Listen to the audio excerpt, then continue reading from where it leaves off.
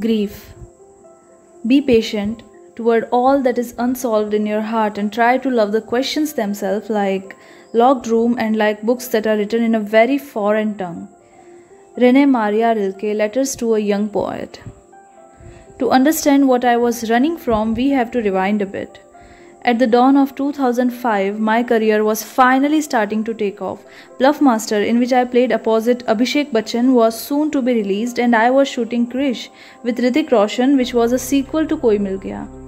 That had been a very successful movie, and consequently, Krish was seen as one of my biggest movies so far. Both of my parents were working as part of my team, even as my father continued the job of medical administrator at a Mumbai hospital, which he had accepted shortly after moving there.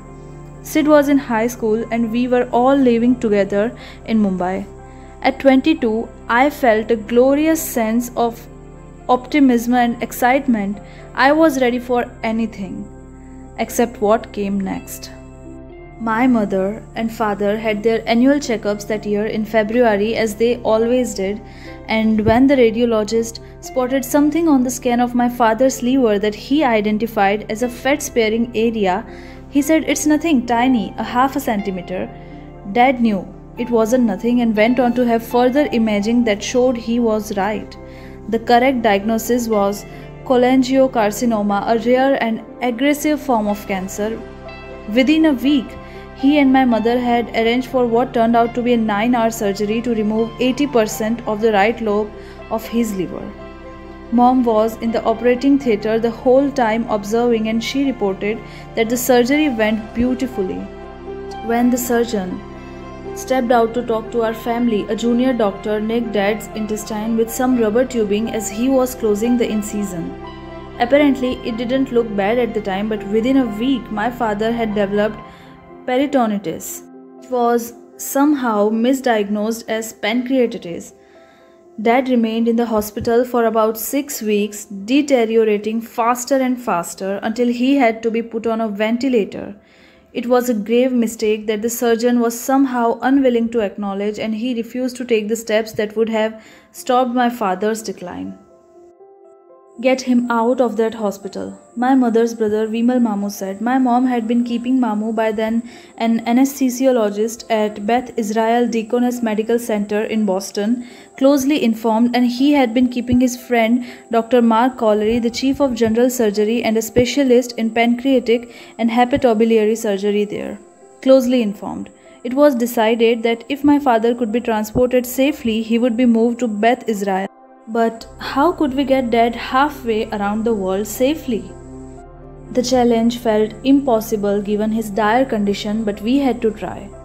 Every day I had been going from the set of Krish straight to the hospital, so my co star, Hrithik Roshan, was aware of what was happening with my family. Incredibly, Hrithik, who is hugely successful in the Hindi film industry, got on the phone and used his connections at Air India to arrange for my father's immediate flight to London.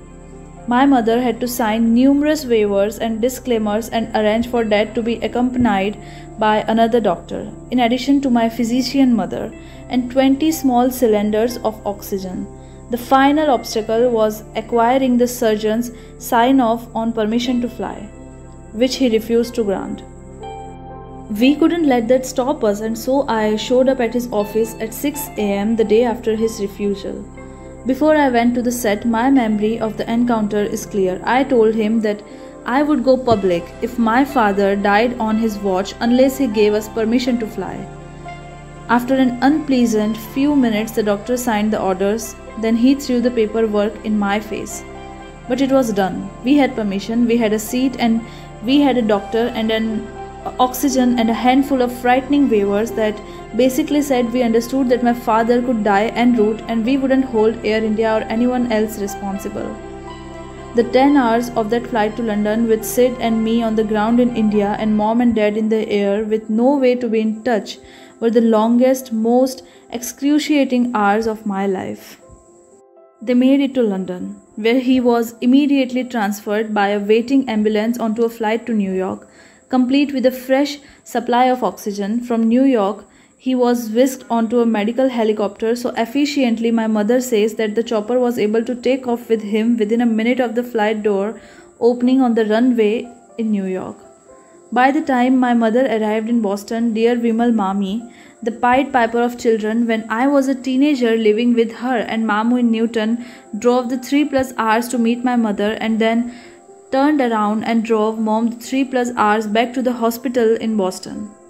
My father was out of surgery. If we hadn't had people around us who were so kind and so willing to act on our behalf, Hrithik and his father Rakesh sir, who was the director of the film Our Family in Boston, I doubt that my father would have made it. There's no way I can ever express my gratitude adequately to them, but it is deep and it is an enduring.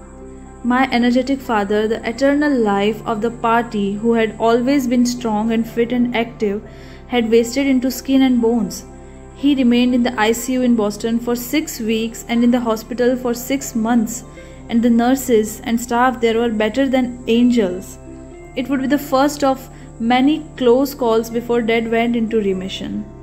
Having been so close to death, Dad, once he regained his health and his strength, jumped back into life with all the gusto that he had always had. He and mom started socializing again. He invited musicians into our home so they could jam. Dad had an incredible voice, but he had never played an instrument except the table. Not the tabla, but the table, as in any desk or tabletop which he would slap and pound and drum on with his hands like a percussion instrument. Dr. Chopra plays a mean tabletop. All of his musician friend would say, and he did. He resumed his pro bono work. He started sketching again, something he hadn't done in years.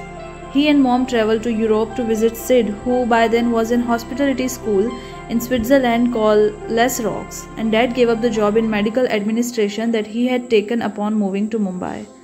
Putting down the paperwork to pick up the scalpel again in early 2009 after traveling to Italy, Israel, and Colombia for training, he and my mother opened Studio Aesthetic, a cosmetic clinic in Juhu, where he performed liposculpture and she performed all the non surgical procedures.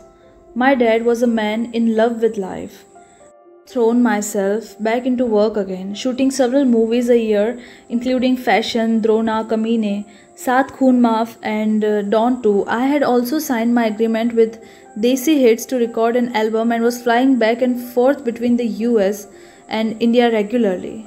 When they weren't working at their clinic or traveling elsewhere, both of my parents came to visit me in the US when I was recording, and dad was in heaven visiting sets and studios where he found himself surrounded by so many talented musicians. But in 2011, Dad started to feel weak. He had been having regular scans, and his radiologist, a friend, told him after each scan that everything looked good, nothing to worry about. When Dad's sister in law, Badi Mama, a radiologist in Delhi, finally discovered the 6 centimeter mass buried deep in his liver, there was plenty to worry about because the radiologist my father's friend had repeatedly missed the tumor. It had grown and spread and was now stage 4. For the last two years of his life, my father fought incredibly hard against a disease that was unrelenting. Mom and dad came up with a game plan which included traveling back and forth to Beth Israel in Boston and also to Rochester, New York, in the northwestern part of the state where they explored the possibility of a liver transplant but ultimately opted for stereotactic radiation followed by surgery. The team in Rochester at Strong Memorial Hospital was magnificent, caring, compassionate, and highly skilled, and my parents were fortunate to be hosted in the city by Dr. Randeep Kashyap, who performed the surgery, and his beautiful wife, Dr. Rupa Kashyap. Thanks to the friendship and graciousness shown to them by the Kashyaps. Dr. Ashwani Shibar, a friend of my father's from medical school, and Dr. Vikram Dogra, his radiologist, the emotionally draining time my parents spent in that city was made as comfortable as it could possibly be.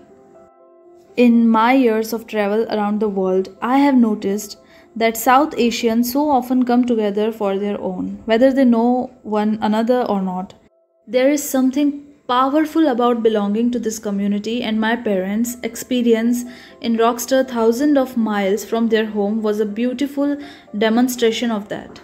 Both my parents had spent their lives wanting my brother and me not to see any of their perceived weakness and it was no different with this illness of dad's. When they were in India, if I arrived for a visit with dad in his hospital room and he had been expecting me, he had been sitting up with his hair combed and wearing cologne, somehow always managing to look fresh.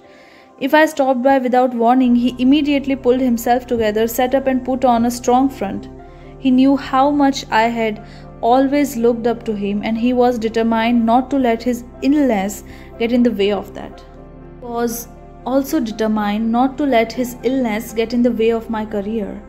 Throughout most of my father's hospitalizations, and there were many during the two years that followed his remission, my mother always said to me, Just go to work, he will be fine.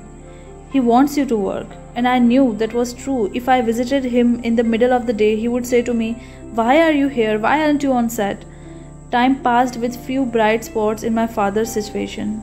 Early in 2013, I was nominated for TOIFA, Times of India Film Award for Best Actress for the role of Jhilmil in Barfi. Award ceremony was to be held in Vancouver in British Columbia, Canada that year on April 6 and while I hadn't won any other awards for my role as an autistic young woman in that movie, I thought I had a reasonably good chance of winning this one. More than anything, I wanted my father to be there to share in the recognition. When my biggest cheerleader my entire life, voicing his encouragement loudly, sometimes embarrassingly loudly, every time I won even the smallest award from the age of two on. And he had earned this celebratory moment if indeed I were to win with all the help and support he had given me along the way, and all the sacrifices he and my mother had made on my behalf. I knew he couldn't travel easily, he was weak and in pain, and had to wear bile duct drainage bags inside his shirts. But I also knew that he had to make a trip to North America anyway for treatment in Rochester. And I thought the award ceremony might be a bright spot for him. So at dinner one night, I casually mentioned the idea of combining the trips to Vancouver and Rochester. Immediately, Dad was hell bent on going, Yes, I will come for the TOIFA ceremony and then I will go to Rochester for my treatment and then I will take a break and come home. As if it were all very casual trips between continents when of course it wasn't casual at all. It would be grueling for him when the time came he and my mom left days ahead of time from india so that they could build in breaks on the long trip west across europe and the atlantic ocean and then all the way across the north american continent to british columbia then dad rested for three days in the Vancouver hotel before the actual event. When I walked into his hotel room for the first time after I had landed in Canada, I took one look at him and said, You don't have to do this, dad. Seeing him lying exhausted on the bed with all his tubes and bags, it was impossible to imagine him having the strength to get dressed, much less make it to an award ceremony.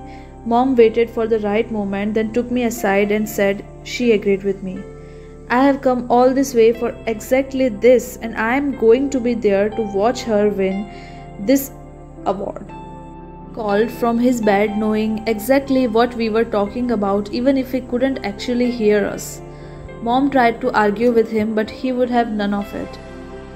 He made it there. He wore a suit and tucked his drainage bags under his shirt and tie, we used a wheelchair to get him through the hotel and then the theater, where he sat next to me in the front row when the Best Actress category came up and near the end of the ceremony and my name was called. He radiated joy. I could literally feel it emanating from him. I had thought I might ask him to come up with me if I won, but I hadn't said anything to him, not knowing if he would be able. Now it seemed only right to accept the award with him at my side. Will you come on stage with me? I asked. And he did. It took what felt like an eternity for him to walk to the stage, but he made it. In my acceptance speech, I thanked all the people I had worked with on the film, including, of course, my Director Anurag Basu and my co-actors Ranbir Kapoor and Ileana D'Cruz and with my father standing next to me, I thanked him for teaching me to take chances and to stand up for what I believe in, for truth. And then my beautiful father gathered his strength and spoke to the audience. I thank you a lot from my heart for your love and blessings. You have truly recognized a true actor. I am so very grateful. My father was alluding to the fact that while I had received great critical acclaim for my unusual, unglamorous role in Barfi, I hadn't received major award recognition. That was dad standing up for me one last time. My father got a standing ovation, at which point he started to cry. I had been blinking my own tears away, acutely aware that it could be the last time we would ever celebrate an achievement like this together. Holding each other and with the help of the host of the evening, we slowly made our way off the stage. Lasted through the whole three hours of the program. A feat that almost defies belief given that he was so weak, but he did it. That's who he was. When we got back to my parents' hotel room later, he collapsed on the bed, unable to do so much as lift his arm to unbutton his shirt. When I look back at pictures and videos from that night, they crush me. Dad had always been like Superman to me all my life. Had been able to do anything, including save countless people's lives. Over the course of his medical career, he had been 6 foot 1, energetic and robust, an absolute mountain of a man. To see how the disease ravaged him, how thin he was, how laborious his speech and movements were, anyone who has seen a loved one go through this kind of disease knows that there is nothing worse. It was the last time my father appeared in public. Two months later, he was gone.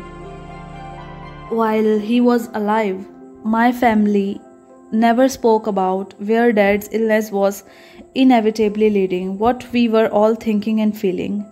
I'm not sure if that's the right way to go through this kind of experience, but every family is different, and that was our way. By the time he was at the end, I admit that I was prepared to let him go. It was terrible watching him become a shadow of himself. He was depressed and suffering. My big, strong father was reduced to a shell of himself lacking the energy to express his anguish with anything more than a silent tear. When I think back on the final year of his life, I often regret not taking more time off to be with him, but that's not what he wanted. He wanted me to work, to focus on the career he had helped me build. Neither he nor my mom wanted my life to be interrupted or halted by his illness. Now I wonder why I listened to them. Why hadn't we had those important conversations that families have when someone is dying. Why hadn't my father and I talked about things we had never talked about before? Why hadn't I reminisced more with him about our family travels and about the music he loved to play and about one of his favorite subjects, my childhood?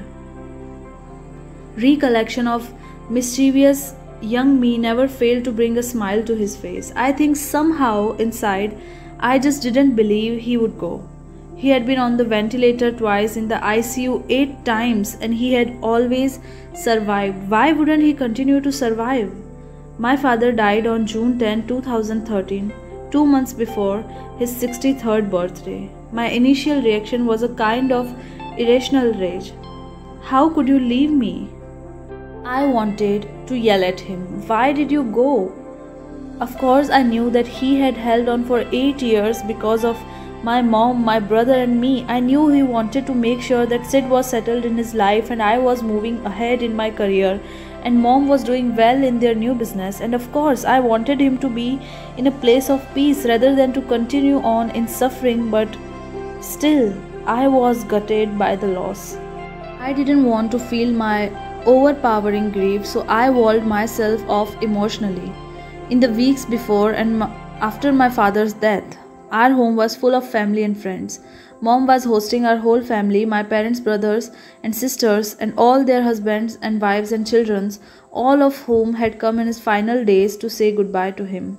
And while mom was hosting and making sure everyone had a place to stay while she dealt with the details of the rituals that would happen in the days after dad's death, I sat numbly on the couch, unable to talk, unable to move. Dad died at around noon on the 10th, and the cremation was held at 4 pm. To my astonishment, it seemed like the entire Hindi film industry showed up actors, directors, producers, camera people, lighting people, hair and makeup, and set designers, and their assistants. I had no idea how everyone knew, but they did. And the support they show me and my family temporarily pierced the walls I had erected in an effort to protect myself from my grief. The walls were pierced again at the Chotha, four days after his death. Over the course of four hours that day, it felt like a thousand people came to show their love and respect for my father. All of his life, his warmth, inclusivity, and joy had drawn people to him, and now, in addition to family, there were people from all the parts of his life doctors, patients, army friends, and fellow officers, musicians, and the film industry was there again in a massive demonstration of support. Many of my colleagues knew him and had been touched by him in some way, and I had liked to believe that a good number of them were there not just for me but because they genuinely grieved my father's passing. Although I had desperately wanted not to feel anything, it was hard not to look around and be moved by all the people who felt compelled to honor my father's memory.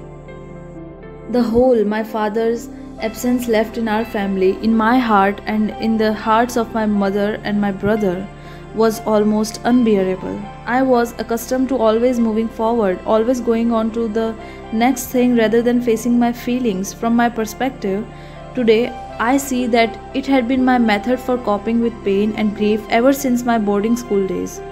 Now, more than 20 years later, I was still doing the same thing. I had no tools, no internal mechanism, no experience that could help me deal with such devastation. Until then, my mother had never really believed in therapy, but after she went to a grief counselor, she advocated that I try it as well. Although I tried a few therapists, I never found one who was right for me, and for reasons I still don't entirely understand and cannot explain, I did not pursue getting help from a therapist or grief counselor beyond those short lived efforts encouraged by my mother. So I would have immediately advised any friend in a similar circumstances to do so. Instead, I turned to what I knew and felt I did best my work. During the final months of Dad's life, I was training to play a title role in the movie Mary Kom, a biopic about the gritty, self made Indian Olympic boxer. In order to play her credibly, I not only had to learn who she was, I also had to thoroughly learn the sport and develop a boxer's body. I trained for 2 to 3 hours every morning, practicing footwork, working with a punching bag, and sparring. In the afternoons, I had have another 2 hour gym session to build my muscles and my endurance. In a certain way, the extreme physicality of playing an athlete was its own kind of release, helping me deal with all the fears and worries that go along with watching a loved one fade away in front of you. Five days after Dad died, the day following my father's Chautha, Mary Kom was scheduled to begin shooting, and although the film's producer Sanjay Leela Bhansali offered to postpone the start date, the sense of duty and discipline I had inherited from my father and his 27 years in the military wouldn't allow me to accept his offer. I was concerned that Sanjay sir would take a hit on this small budget movie, and I honestly felt it was my moral duty to show up. As always, work was my therapy. I put all of my grief and a piece of my soul into that character and that film. It's what drove me and it's what allowed me to continue functioning. I'd show up on the set each day prepared and focused on the work at hand, just as I always had been. But I was also slightly dazed and certainly numb. In a way, it was just the right movie for me at that time. It was so intensely physical that my numbness might have actually served me well. I was still living in the same apartment complex that my parents had lived in and that my mother now lived alone in. We had separate units on the same floor so that we could all have freedom and privacy while still feeling connected as a family. And it was an arrangement that had worked well. During the weeks following my father's death, when I came home exhausted, bruised, and aching after shooting the grueling boxing scenes, my mom would knock on my door and remind me to soak in a warm bath with Epsom salt to ease the muscle pain. And every night I would cry in the tub and think, I can't do this. But in the morning, I had wake up and remember my father and how he had willed himself onto that stage at Toifa, how he had willed himself to hang on during those final difficult years. And I think I will do this for him. I have to do this. Stiff and sore, I had rise from bed to begin another day of work. My mother, Sid, and I all grieved in our separate silos. We didn't cry in front of one another, we tried to be strong for one another. Mom went through a really difficult time, so difficult that sometimes I wondered if she would ever come out of it. My parents had been partners and sweethearts for 32 years, a true story of love at first sight that had endured through pain and loss and challenges as well as all the joy they had shared. At the end, my mother was Dad's wife, his friend, and his consulting physician, even as she protected my brother and me from seeing the worst of his decline. I know it was traumatic for her, and I know it was lonely. Six months after Dad died, in December of 2013, Mom, Sid, and I took a family trip to Turks and Caicos. The time together out of our normal environment allowed us an opportunity to begin to talk about Dad's death and our grief more openly than we had been doing. It was a small step, but it was a step in the right direction, and I believe it allowed us all to feel just a little less alone. Beyond those few conversations with my family, though, I never really examined or dealt with my grief. Instead, I tried to power through. I was doing my best to be resilient, but the fact is that I was burying my grief rather than coming to terms with it. I moved from one extreme to another like a pendulum, always in motion, always swinging. Either I was working long hours, moving fast, traveling, not giving myself time to think, or I was completely inside myself, shut down, uninterested in seeing friends or seeking company. Over time, I came to realize that my grief, rather than diminishing, had simply become an ever present companion. Once I realized that it wasn't going anywhere, instead of trying to distance myself from it, I allowed it to move in with me, as if I were a host, perhaps, and we were in a symbiotic relationship. I accepted that I would take it with me wherever I went, like I took my cell phone and my keys, or perhaps like I took my determination and my loyalty, which are simply parts of me, as grief was too now. You might think this would be an impediment, but somehow the comfort of knowing that this grief, so personal to me, was like a priority item in the tuck box of my life, allowed me to move forward. I knew it would always be there. It might change, evolve, become larger or smaller, but it would always be there. And this acceptance, it seems, helped me move forward.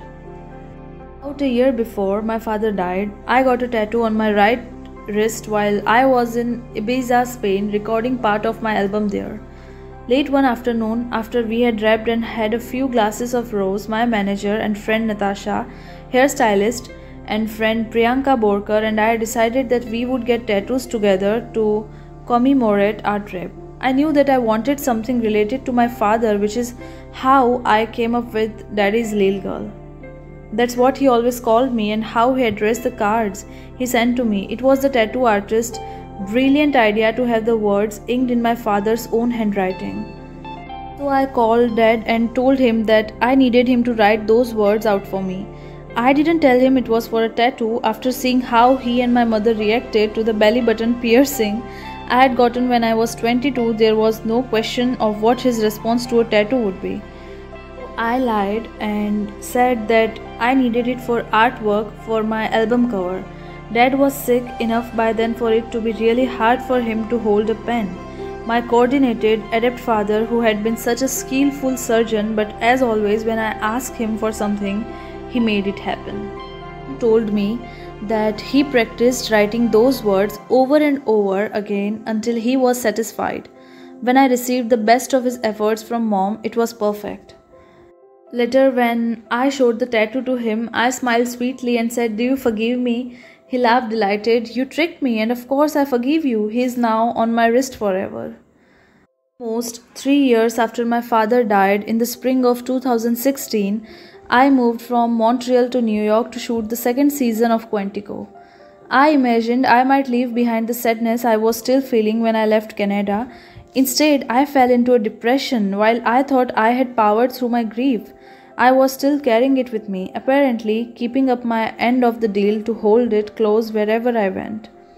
From what I understand, clinical depression is usually considered something separate from or unrelated to the sadness you feel when a loved one dies. So I don't think I was clinically depressed, and I was fortunate to be able to continue working, which was my salvation. Still, the time felt like a never ending slump, a long sigh of sadness, a sort of pause in my life that lasted almost two years. By the following year, 2017, I was deep into a period full of ending and loss.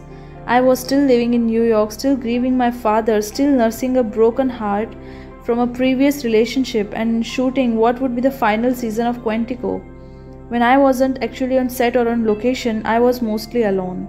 I would eat by myself, watch TV by myself, and stayed up well into the early morning hours, even though that meant I got little sleep. That was okay, given that the little sleep I got never seemed restful anyway. I put on almost 20 pounds. On social media, people made unkind comments about my weight. In text, friend took me to task for backing out of the few plans for drinks or dinner that I had forced myself to make. Finally, they just stopped inviting me. I couldn't blame them, but I couldn't seem to help myself either. I had always been curious, optimistic, and full of energy. Now I went through most of my days and nights like a zombie, so much so that I don't remember a lot about that time, except that I felt numb for most of it. When I wasn't feeling numb, I felt lonely, sad, and isolated. No one understood what was going on inside me because I didn't tell anyone. I'm not saying there weren't a few bright spots, times when I delighted in the world around me. Mercifully, there were and meeting Nick that year, however briefly, was one of them. Mostly, though, my days and nights felt grey. I tried not to share my struggle with my mom. I didn't feel comfortable leaning on her when she was struggling too. Instead, I hid my difficulties from her, which was relatively easy to do since she was in India and I was mostly in America. We weren't in the kind of close physical proximity where you can readily sense the shifts of mood and emotion in those you love. I am sure she probably had a mother's instinct that something wasn't quite right. No matter how much I tried to act as if all was well, I could sense it in her after all.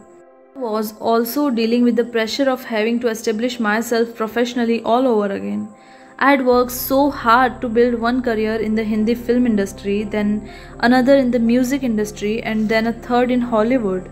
I was exhausted. I had never before felt so sad or weighed down that I couldn't do anything beyond what was absolutely required, but that's what I felt like for a long portions of 2017. My asthma, which I had had since childhood, got worse and my immune system weakened. I slept less and less. I was sick a lot. When dad died in 2013, I had made half hearted efforts to find a therapist to help me with my grief. This time, in a more paralyzed state, I didn't even try. I should have. I didn't consider medication. I should have. All I wanted was to spend time alone. Until finally, finally, I was tired of being sad. It would be so simple if I could point to one specific catalyst for this change. But that's not the way it happened. It took almost two years, but eventually I realized that some small inclination toward life inside me was tired of sitting on the sidelines. I tried to remind myself of who I used to be when I had had a spark. After a long time, I realized that I missed that person. I wanted to be her again. Ultimately, I understood I was at another turning point in my life. Another juncture where I had a critical choice to make. Was I going to remain in my despair and lose the career I loved and had worked so hard for? Or was I going to bring back the spirit that I used to have each morning when I walked out the door, thinking this will be a great day? It had been fun to be that person. I liked her. My work hadn't been affected yet. I was thriving in my career, but I was tanking emotionally, and I knew it was only a matter of time before that caught up to me professionally. I was not going to let her all the good things in my life slip away from me because I was emotionally devastated. I was not going to give into the darkness I decided I had to choose myself and I had to do it immediately. I knew it was it's what my father would have wanted, and I realized with a jolt that I wanted it too. Maybe it sounds simplistic, but I decided to focus on the blessings that I had been given instead of focusing on what I was missing. I started to treat myself with kindness. I told myself not to blame myself for feeling alternately bereft and numb for having indulged in such a long, quiet period of sadness. That's what my body had needed. I realized that's what my spirit had needed to mourn and mourn fully, to feel the sadness I hadn't wanted to feel. I didn't know exactly how to move from a world of grey back into a world of vibrant color, but one day I figured out one simple thing I could do.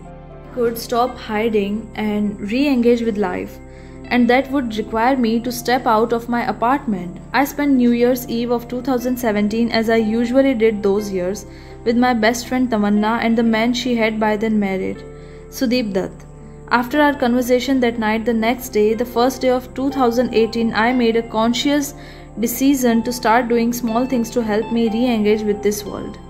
When I returned to New York, I made an effort to reconnect with people, just a few at first, breaking my nightly pattern of coming straight home from work, for instance, and instead meeting a friend for dinner or inviting someone over to hang. I found that I felt a great comfort in simply being in the company of friends. Even when I didn't talk about my problems, I felt less alone, less sad, less isolated.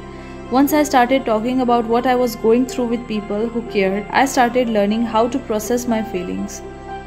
Physically, changing the routine I had fallen into within my apartment helped too. I stopped automatically sinking into the lovely, safe spot on the couch that beckoned me to watch television there after a long day of work. Oh, how that comfy couch called to me, but rather than automatically go to it, I changed things up by going into the kitchen and sitting there for a while, or gazing out my large picture windows at the street below or the skyline beyond. Or maybe I'd just watch TV from my bedroom instead of the living room, or I had take my dog Diana for a walk. I found that simply changing my location sometimes change my perspective allowed the anchor that was holding me in place to shift a bit to lose some of its paralyzing weight. It sounds small, I know, but changing my pattern was the beginning of real change for me. Gradually, my soul started to feel less heavy. But wait, I need to back up for a moment to tell you about Diana. In November of 2016, I did an interview with BuzzFeed in which they decided it would be fun to unleash a few wiggling puppies on me. As I sat on the floor for the interview, I am eternally grateful that they did. When Diana, as I soon named her, started chewing on my Burberry shoes in the interview, I immediately understood that she had excellent taste. And then at some point, she started snuggling under my arm. I was smitten. Brando, my dear Cocker Spaniel companion of 12 years who was being cared for by my mother and brother in Mumbai, was too old to travel. There was no way he could have moved to the States, but here was this sweet and loving bundle of intuition in whose presence I felt comforted, and so the next day I officially adopted her. I am 100% certain that Diana chose me. She came into my life for a reason, helping me re engage with life before I even recognized that I might want to do so. When I arrived on set at 5 am on my bleakest days, she accompanied me. When I couldn't sleep at night, she was happy to walk with me lonely city streets or snuggle with me in my bed. She was one of my portals back to life and she is still with me today, loving me unconditionally. During my solitary time, I came to understand myself better. As is no doubt clear by now, I have always been a person who wants and expects to work hard, who takes pride in the fact that I work this period of being alone showed me that I needed the space to do nothing to, to just be. It turns out that every single thing that my friends had ever told me about taking time for myself and that I had read in self-help books and that I had heard from Oprah was true. If I had listened better or paid more attention to what I had heard and read, maybe I could have saved myself a lot of time and pain or maybe not. I think part of the human journey is figuring things out for yourself, and apparently that's what I had to do. Now I make sure to build free time into my day. After I wrap from work, I give myself 3 or 4 hours to do what I want before I have to be in bed and after I finish whatever work I am doing, I put my phone away. It might not surprise other people, but it certainly surprised me when I realized that having that time to unwind and rest actually made me more productive. I would never presume to speak to the pain of real clinic depression or to compare my own period of depression with that condition, I am only sharing what helped me return from a very dark period in my life. A period of deep grief that I didn't deal with when it first settled in with me. Gradually, the heavy sense that I woke up with every morning and went to sleep with every night, the sense that life was just too daunting, dissipated. I saw that I liked laughing again. I liked people, I liked life. For me, one of the hardest things to accept in life is that control is an illusion. I hate that I can't control what happens in my life, but I can't. Loss happens, failure happens, sorrow happens. I can't always control where I'm headed either. Sometimes sadness is the destination, whether or not it's where I want to go. During my time there, I had to learn to trust that I was visiting for a reason that it would not be my permanent place of residence, my forever state of being. That, like water, I would flow past it eventually and end up where I was meant to be.